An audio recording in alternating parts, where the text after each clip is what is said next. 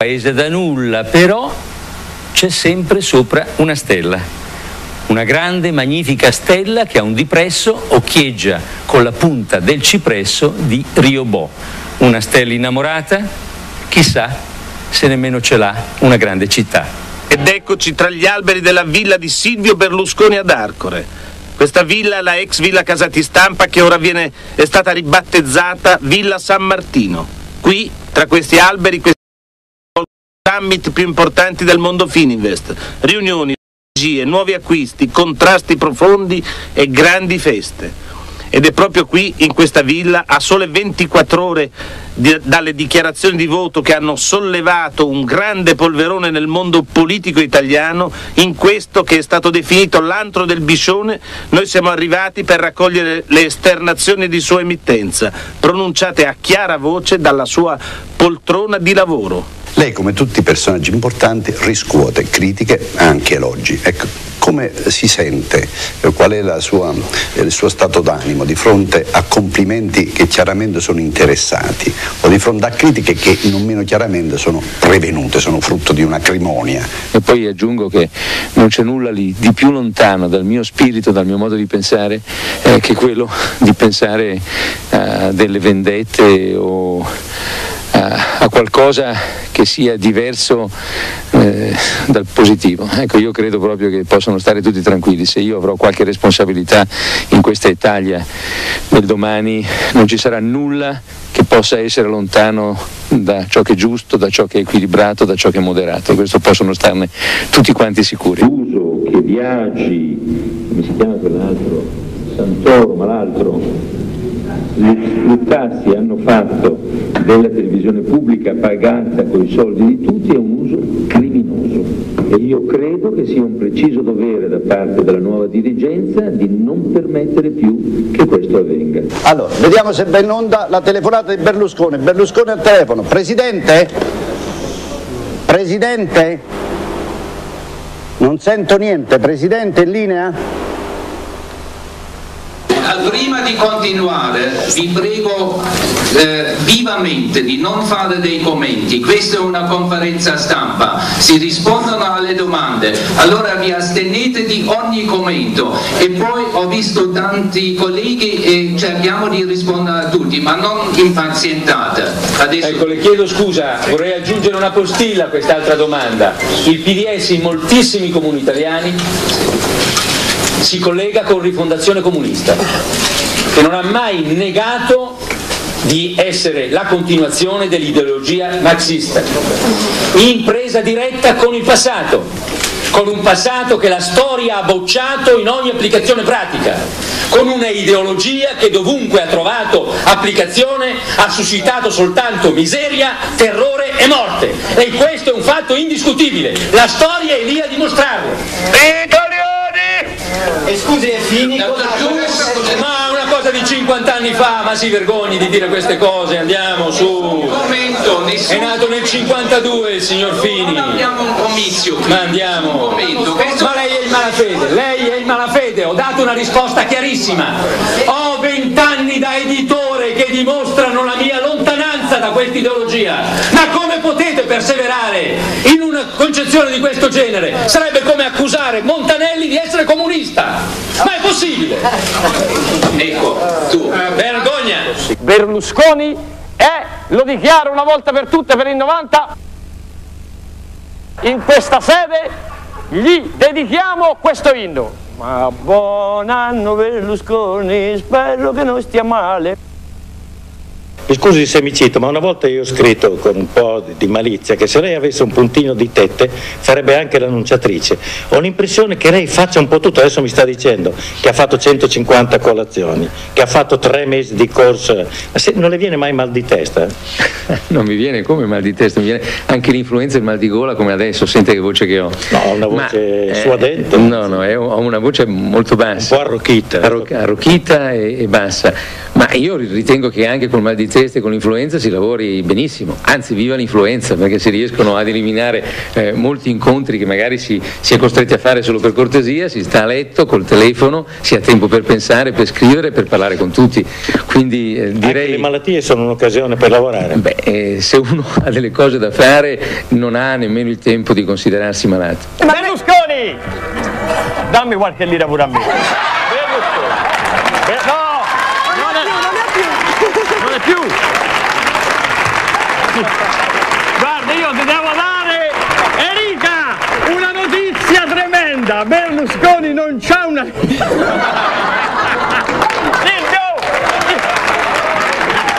Io guarda, 100 mila lire. Silvio! Io dico, non c'ha una lira in banca! Ha finito i soldi, non può pagare nessuno! Che ride già. E chissà cosa viene fuori domani perché è proprio nuova. Allora c'è D'Alema che, che, che incontra, Ai ai ai, eh, Berlusconi me lo poteva dire. che incontra Bertinotti, Bertinotti lo guarda e gli dice ma sai Massimo che hai una brutta faccia? Mm. Cosa ti è successo? Ah, dice guarda, non... ma che è successo? Sei proprio triste? Eh sì, che è successo? È morto Berlusconi, ma no, sì, oh che peccato, sì, cioè, tutto sommato era ancora giovane, eh, era anche un, abbastanza simpatico, sì, l'ho detto anche in televisione, ma come è successo? Eh, dice, sei andata a fuoco la sede di Forza Italia, davvero? E eh, come ha potuto essere? Eh, dice, un nostro compagno passava di lì e ha buttato un cerino, sai, ciao, un cerino, un incendio. E un altro compagno era passato prima, aveva lasciato una macchina, un guasto, un po' di benzina, è andato tutto a fuoco.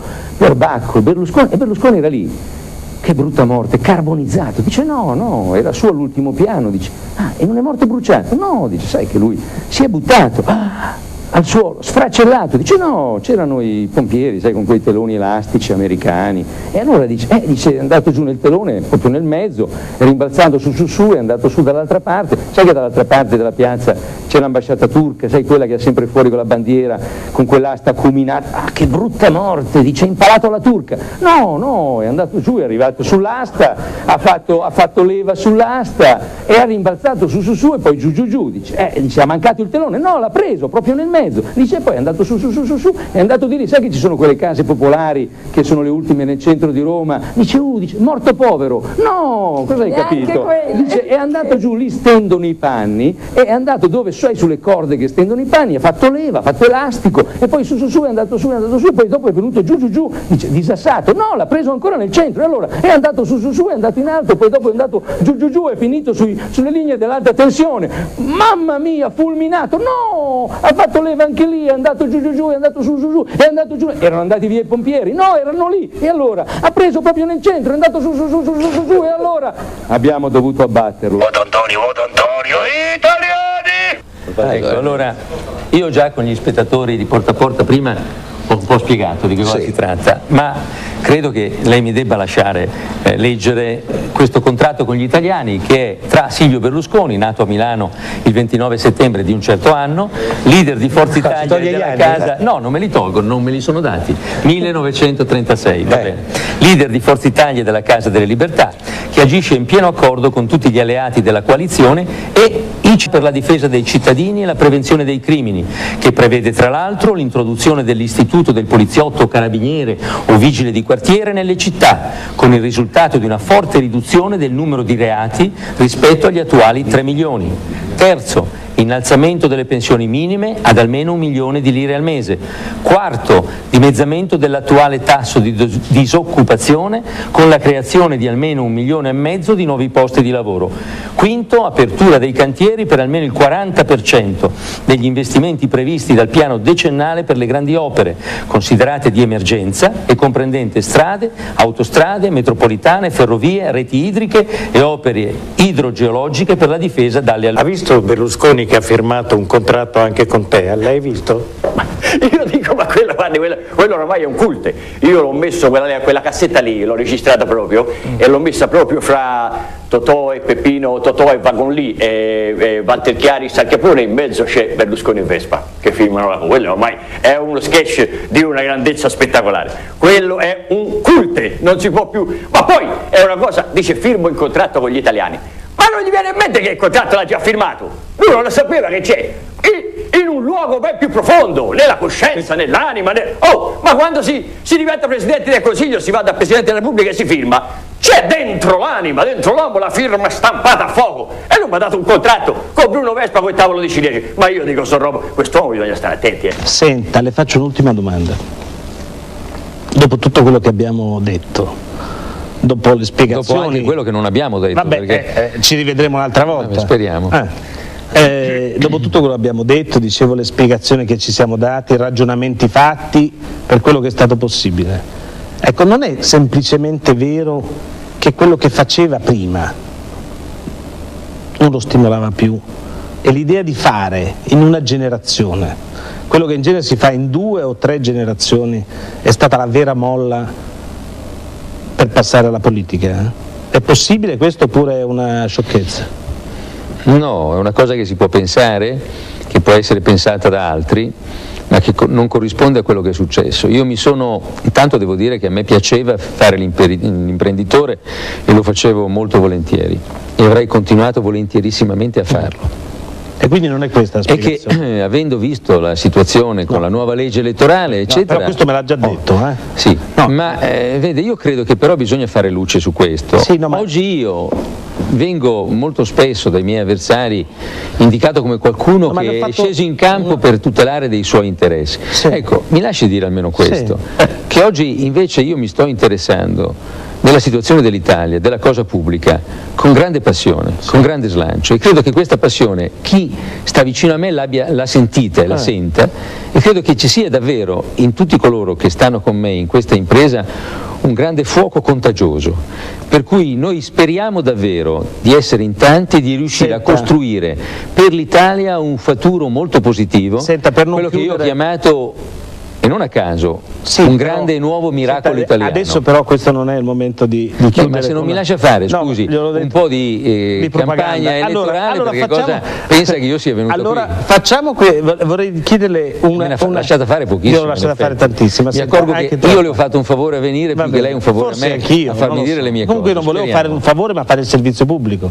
e quindi eh, è no, il mio che- dovere. Senta, non che- volevo chiedere un'ultima cosa per finire un pochino contributo. per leggermente. Bruno Vespa. Eh già, si accomodi un momento e poi, poi si dedica.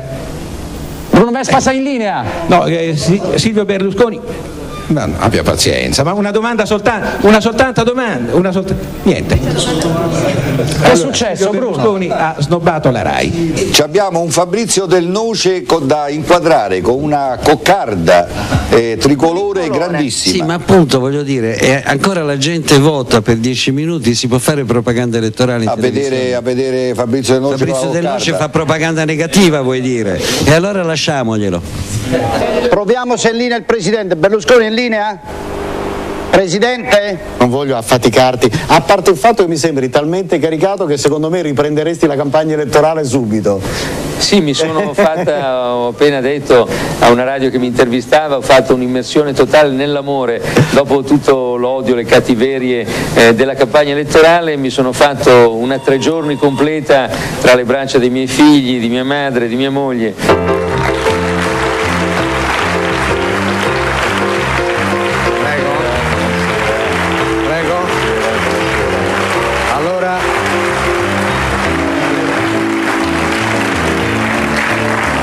Si abbassano le luci come è consuetudine, io vado a marcare il tempo, che questi è quelli per cuocere l'uovo, insomma, quando l'uovo è sodo suonano. Anche oggi ho letto i giornali e rispetto al messaggio che ieri sera avevo voluto inviare ai cittadini, eh, un messaggio di serenità, di tranquillità, un messaggio positivo, eh, c'è stato un capovolgimento totale ed è venuto fuori invece un messaggio di inquietudine di incertezza. La Repubblica si è segnalata attribuendomi parole che non ho mai pronunciato, che non ho mai neppure pensato, dopo di me i disordini e poi dentro addirittura io oppure il caos. Io sfido in tutta la conversazione di onore che ho avuto con i giornalisti a trovare qualcosa che possa riferirsi a queste mie parole.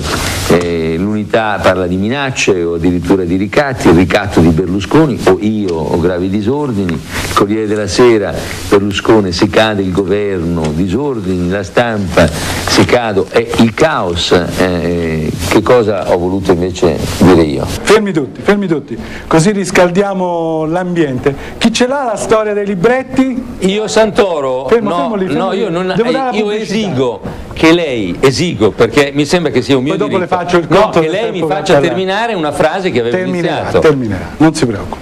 non condivido questo sistema di conduzione perché toglie un minimo di dissenso No, non è un minimo, è un massimo di dissenso. Questo è un modo per non arrivare Perché a chiudere un Ma c'è un ragionamento. motivo, Scusi. c'è un motivo che le spiego.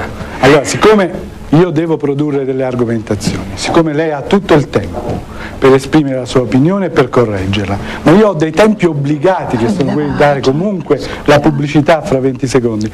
Finisca, finisca pure, guardi, io a- alle 10 dovrò interromperla, quindi cercavo di fare una cosa il in ragionamento 30 secondi, mi era faceva già interrotto. tempo e lei riprendeva. E allora finisco? Finisca. Al Presidente del Consiglio, Chiederò scusa rappresentanti- all'azienda. Berlusconi!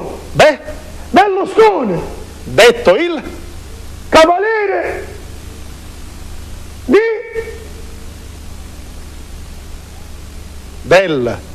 del Piscione. Lo scontro finale non poteva che essere questo, quello tra eh, Silvio Berlusconi, il leader del Polo per le Libertà, e Romano Prodi, il leader dell'Ulivo. Ci sarebbe tantissimo da chiedere e per la verità tanto vi è stato già chiesto nel corso di questa lunghissima eh, maratona, sono più di due mesi di fatto di campagna elettorale. Ma qui siamo ai giochi finali, non ci sono state variazioni nelle indicazioni dei due schieramenti. Quindi la sostanza è questa, se vince il Polo sarà Silvio Berlusconi andare a Palazzo Chigi, se vince l'Ulivo sarà Romano Prodi. E allora la prima domanda fatalmente non può che essere questa. Se lei va avanti a fare le domande, a interrompere, io la picchio.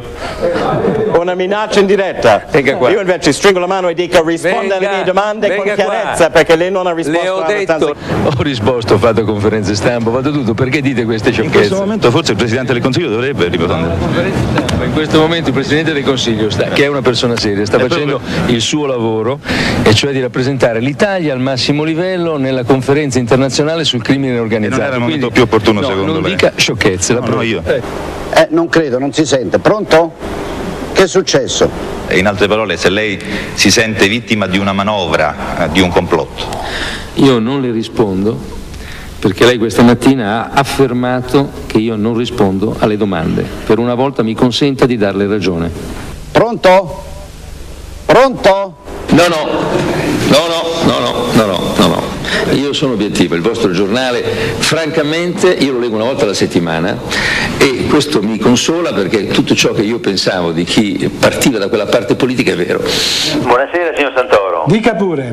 Allora, un intervento brevissimo perché da ehm, alcuni interventi appunto intorno alla campagna eh, di spot che in questo momento Forza Italia presenta eh, sulle reti della Fininvest, mi è sembrato venisse fuori eh, un qualche cosa che sapeva di irregolare, cioè mi è sembrato eh, di capire che si volesse dire che eh, da parte dell'editore di queste televisioni c'è un privilegio di poter usare prima degli altri, meglio degli altri, più degli altri le proprie televisioni per far passare uno spot pubblicitario. Ecco, io vorrei eh, precisare che così non è. E Forza Italia, eh, essendo regolata come tutti gli altri partiti da una legge molto precisa, ha una certa somma da spendere. Ha deciso di spendere la somma per la, la- la sua campagna pubblicitaria utilizzando la pubblicità in televisione. Analogamente il PDS in questi giorni sta facendo una grande campagna promozionale, invece della visione e, me e della televisione me ne spiaccio, eh, usa i poster e molte, anzi nelle principali città italiane ci, eh, ci sono dei poster che recano lo slogan per il governo di 3 metri per 6 metri, per un costo che eh, da quel che mi risulta è dal miliardo al miliardo e mezzo e quindi è un costo analogo a quello che eh, Forza Italia spende sulle televisioni della Finibest.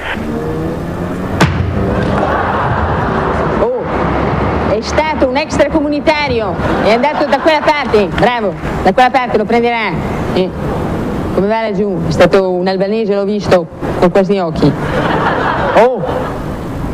Eh, deve presentare, l'ambulanza non arriva perché c'è il regime comunista. Se non lo interrompiamo pass- No, passano le elezioni allora, sì. regionali Signori, e inizia già la propaganda per le elezioni Queste- politiche. questa non è propaganda, Rutelli. Queste sono No, cose io concrete. dico che voi scusate, calunniate, ma no, se permettete, no, cambiate le tavola. eh, non è scusate, possibile. Queste le sono cose serie, chiariamoci una volta per Voi tutte buttate con questa tutto in burletta. Scusate, allora lei ha titolo di lamentarsi, se Berlusconi parla tre minuti e lei uno.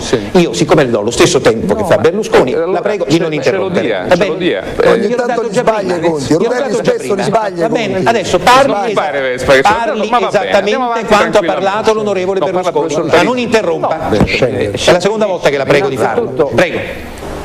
Ecco, questo telefono non vuol saperne di innestarsi in questa linea qui, credo io. Credo anche che gli italiani tutti abbiano voglia di vivere anche in un clima meno acceso e meno velenoso. Allora chiedo veramente la cortesia al Presidente del Consiglio, uno di venire eh, qua e andare avanti a spiegare le cose. È utile, l'altra, il 18 aprile, una data legata alla democrazia cristiana, che era un, un 18 aprile del 1946 l'Italia ha scelto la democrazia, ha scelto l'Occidente, ha scelto la libertà. Se il non 18 avessero i nostri padri scelto bene, noi avremmo avuto un regime non di libertà e non saremmo una democrazia. Se il 27 marzo avessero vinto le sinistre, l'Italia avrebbe avuto un futuro senza benessere e senza libertà. Santoro, lei è un dipendente del servizio pubblico. D'accordo. Si contenga. Io sono un dipendente del servizio pubblico, non sono un suo dipendente Berlusconi. Santoro, scusi. Eh, pronto? Eccomi qua. Ecco il Presidente Berlusconi. Grazie Presidente. È stato un coup de teatro, sembra quasi che io abbia preparato questa suspense, Presidente. Poi eh, volevo dire anche, perché questo è dovuto a chi ci ascolta, che io ho veramente fornito tutte le garanzie possibili e immaginabili perché il Presidente Berlusconi potesse essere qui stasera.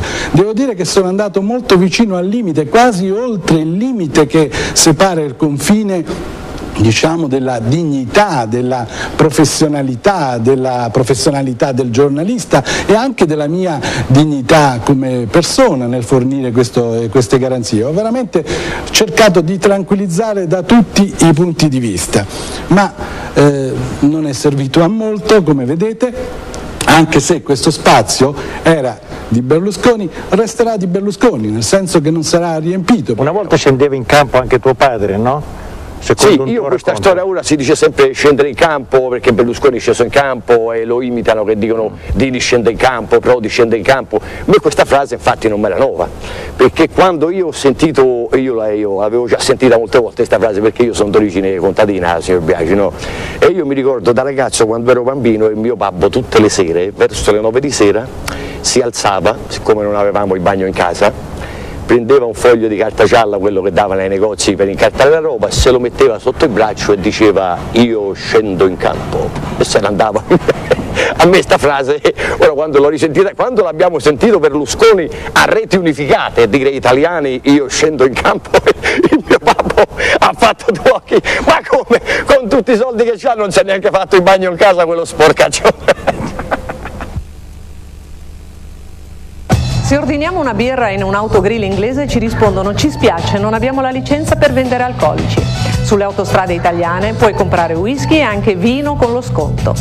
Un ubriaco sulle strade inglesi viene arrestato, in Italia rischia la multa. Siamo decisamente un